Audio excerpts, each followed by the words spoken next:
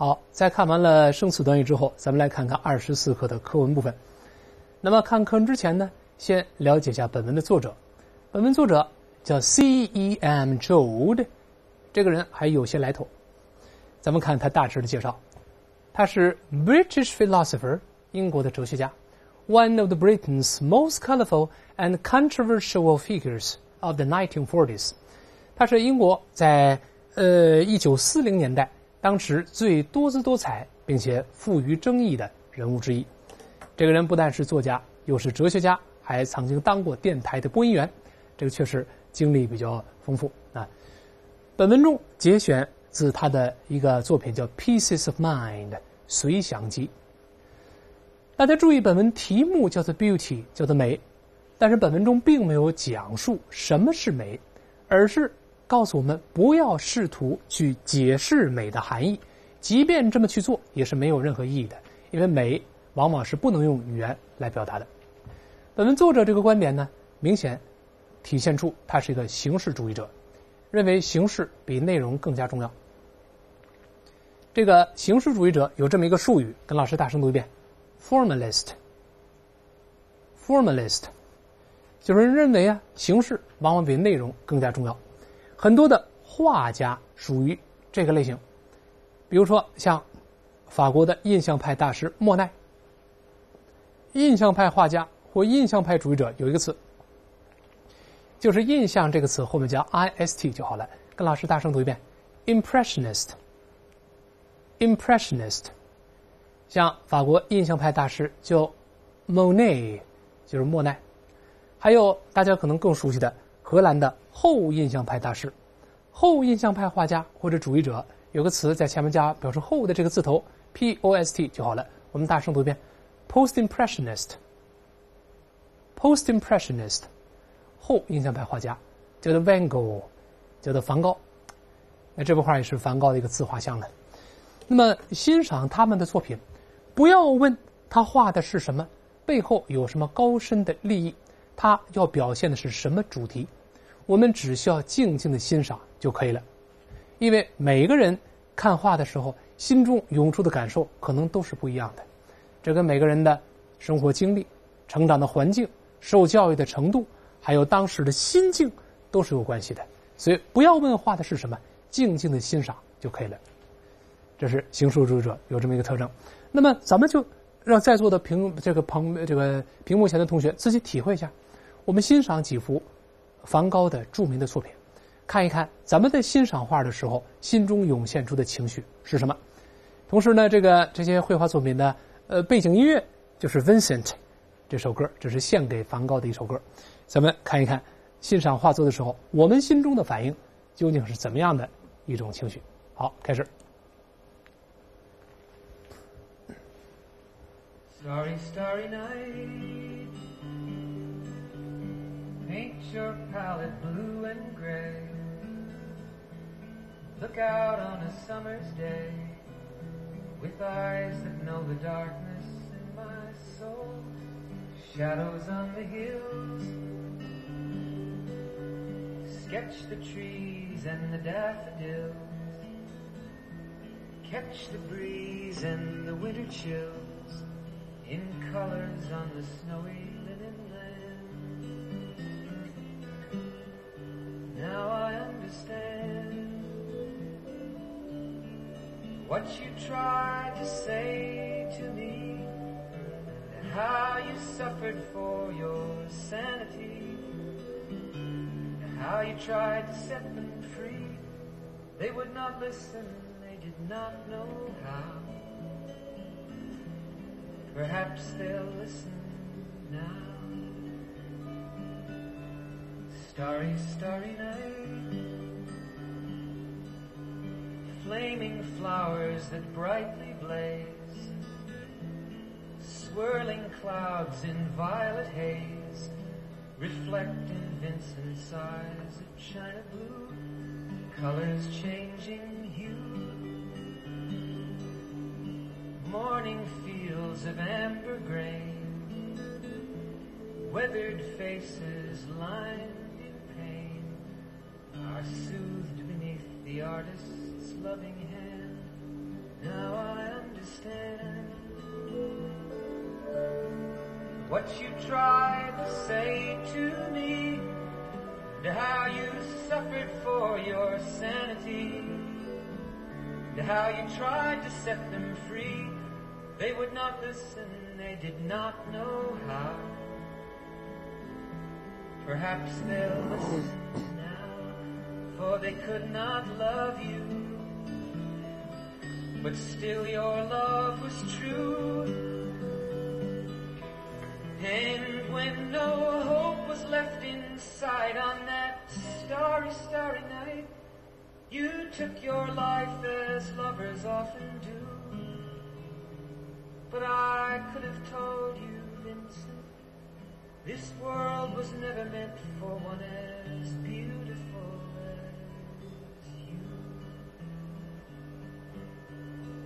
Starry, starry night. Portraits hung in empty halls. Frameless heads on nameless walls. With eyes that watch the world and can't forget. Like the strangers that you've met. The ragged men in ragged clothes. The silver thorn, a bloody rose, lie crushed and broken on the virgin snow. Now I think I know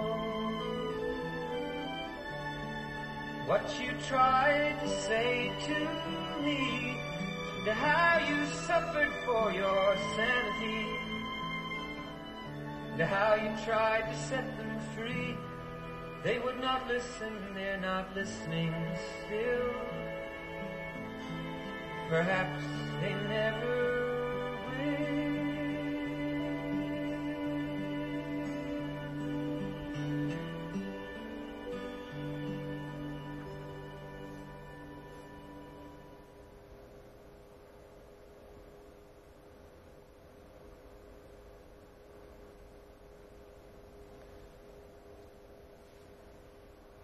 好，我们看到大家欣赏的过程中，可能每一个同学心中激荡起的感情都是不同的。不要试图把它描述出来，静静的欣赏就可以了。那么我们下面看为什么呢？因为有的时候美是无法用语言来形容的。我们有一句话，咱们以前见过，叫做 “Sometimes beauty defies description”。有些时候美是无法描述的。大家还记不记得 “defy” 在二十课蛇毒那课书讲过，就 “make something impossible”，太困难了，使某事成为不可能。美是无法用语言来形容的，或者我们说，美只存在于观赏者的眼睛之中。Beauty is in the eye of the beholder。美只存在于观赏者的眼睛之中。这句话也能翻译成“情人眼里出西施”。生活中没有一个东西叫美，但郭美美可能是美，那那是名字叫美。我们没有一个东西本身叫美，美还是不美，在我们的眼中自己判断。下面我们来看一下第一段。先来看第一句话，咱们看屏幕。A young man sees a sunset and, unable to understand or to express the emotion that it rouses in him, concludes that it must be the gateway to a world that lies beyond. 这个是两个并列句，中间是用 and 并列连词来连接，就第一行最后这个连词。啊，第一个句子很短，就年轻人看到了日落，and 引出并列句。那么第二个句子里面呢，谓语动词就一个词 conclude 得出结论说。那么这个主语呢，当然就是被省掉的主语 a young man，还是这个年轻人。因为第一句话中出现了，第二个句子里面主语被省略了。那么前面这个 unable to understand or to express the emotion that arouses in him，这个成分明显是个原因状语，因为无法理解或者表达，那么这幅美景在他心中激荡起的感情，于是乎便得出结论说，这个前面可以看作省略了 being 这个词，因为这里本来是一个非谓语动词形式。咱们在新概念三册就讲过，在非谓语动词或者独立主格中，如果出现了分词 being，那么 being 一般都可以省略，当然也可以不省，加上去掉都行。我们一般就去掉了啊。那么这个 emotion 后面这个画带下划线的斜体字 that it rouses in him，那明显是这定语从句修饰 emotion。关系代词 that 在定语从句里面充当 rouses 谓语动词的宾语，rouse 本来表示唤醒，派生意就得激起某种感情。这个 it 指代的当然是前面的 sunset。由于无法理解或者表达日落这个美景在他心中激荡起的感情，于是乎呢，他得出结论说，那么 conclude 后面的带从句到句末当然是一个宾语从句了，做 conclude 的宾语。什么结论呢？it 还是日落？日落想必是通往另外一个世界的一扇门，gateway 就装门的地方。门户、交通要道，咱们中文中经常翻译成一座门、一扇门就行了。to 后面是跟它固定介词搭配，通往另外一件事、另外一个世界的一个大门。什么世界呢？That lies beyond。这当然是定语从句修饰这个 world。关系代词 that 在定语从句里面充当主语的作用。天上世界的大门，通往天堂的一扇门，就是日落的美景，太美了。这是语法成分分析。下面看看里面一些词法的细节。首先，这个 rouse 大家可能觉得陌生，就是这个 r o u s e 这个词本来呢表示吵醒或者是唤醒某人。我们大声读一下，出现字母 r，舌尖勾回去指向喉咙，大声来没？rouse 不是绕子，舌尖勾回来，rouse rouse 激荡起某种感情，本意是吵醒的意思。这个比较文言啊。我们先看它的本意：A persistent raining roused her from a sweet dream。Persistent 指声音叫没完没了的，有点贬义词的味道。指人呢是坚持不懈的，对吧？一阵没完没了的铃声把他从美梦中吵醒了。本意是吵醒，派生意呢唤起某种情绪，吵醒了吗？把沉睡在心底的感情激起来了，像 rouse anger。激起愤怒，rouse passion；激起热情，rouse suspicion；引起了怀疑等等，这个都可以。那，那么这是激起某种感情。那么大家可能更熟悉它这个同根的字，三册讲过，这个词通俗一些，就是及物动词 arouse。arouse 本身就是激起某种感情，这个大家更熟悉，也更通俗。大声来读一下，arouse，arouse，还是激起感情。你比如说，arouse anger。激起愤怒，arouse hostility；激起敌意，arouse resentment；激起怨恨，等等等等，这是激荡起。那么跟本文中类似的表示唤醒、吵醒某人，我们也可以用 wake，waken 或者更加文气的 awaken，都能表示唤醒、叫醒某人。但是这三个里面能做派生意表示激起某种情绪的，咱们一般用 awaken 这个词，它可以做派生意，类似于 rouse，激起某种情绪。你比如说，Her pallor awakened sympathy in me。她的苍白的脸色激起了我的同情，把这个同情在心底唤起来了，唤醒了。这个 pallor 来自 pale，p-a-l-e，那是形容词，名词是 pallor，苍白的脸色。这是激荡起某种感情。那么唤起人的某种情绪，激起人的某种感情，生活中能用的词特别多。当然，我们这个 awaken 有好多好多的一些例句。再看一个例子：The nightmare awakened terrible memories。这个噩梦又唤起了那些可怕的回忆。本来这些回忆都渐渐淡忘了，但做了个噩梦都勾起来了。awaken 唤起、唤醒，派生意激起感情，可以用它。还有好多，你像我们经常可以用这个动词叫 evoke，也可以表示唤起、激起某种感情。这个特别好记，咱们三次就说过。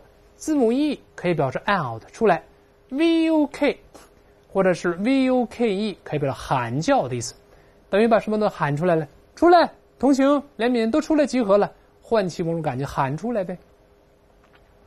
evoke sympathy，evoke memories，激起了同情，唤起了一些回忆等等，都可以用它喊出来了。那还有呢，kindle 有时候也能表示激起某种感情，kindle 的本意是点燃的意思。Kindle a candle，点燃了一一这个一支蜡烛。Kindle 也是 Amazon 的一个阅读器，叫 Kindle，点燃你心中知识的火焰啊，派生意燃起了某种感情吗？跟中国燃起类似。Kindle anger，燃起了怒火。Kindle hopes，燃起了希望的火焰，也是激荡起某种感情，用它也行。还有呢，我们有的时候可以用 stir 这个词，stir 本来是搅拌的意思，派生意能是不是搅起某种感情吗？燃起了、唤起了、搅起了，跟跟中文类似。我们先读一下这词：stir，搅拌。你像 stir coffee with a spoon，用一个勺子来搅拌咖啡，它也声音是激起某种感情。stir memories，stir pity，stir imagination，等等等等，这个也行啊，这是激起某种感情。